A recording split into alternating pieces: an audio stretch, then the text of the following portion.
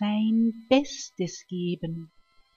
Ein Mensch war sehr bestrebt in seinem Leben, für Gott wirklich sein Bestes zu geben.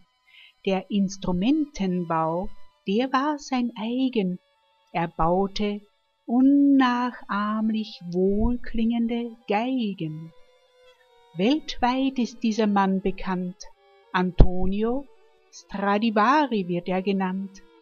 Er sagte, er würde Gott bestehlen, wenn bei einer seiner Geigen seine beste Leistung würd fehlen.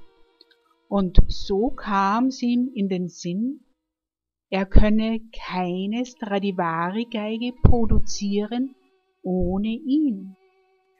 Und wahrlich, Gott, der Schöpfer, hat ihn lieb und macht jeden Menschen mit Gaben bedacht, jeder kann etwas ganz besonders gut. Das zu entdecken und zu fördern mit Mut, das möge Ziel und Auftrag sein. Nanu, dir fällt nun keine Gabe ein? Vielleicht kann keiner so herrlich lachen wie du, vielleicht hört kein anderer so wohltuend zu. Vielleicht bäckst du die besten Torten, beglückst so manchen mit freundlichen Worten?